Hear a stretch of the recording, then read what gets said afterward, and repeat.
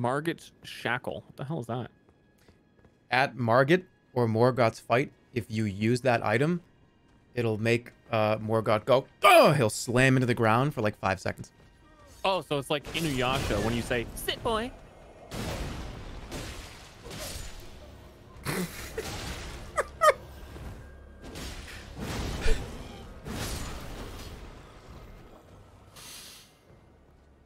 Make it rain. The answer to that is yes, I think.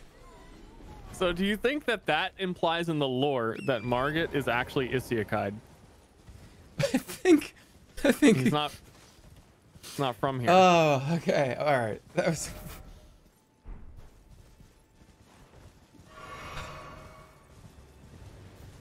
you motherfucker. I'm killing this. I hate her.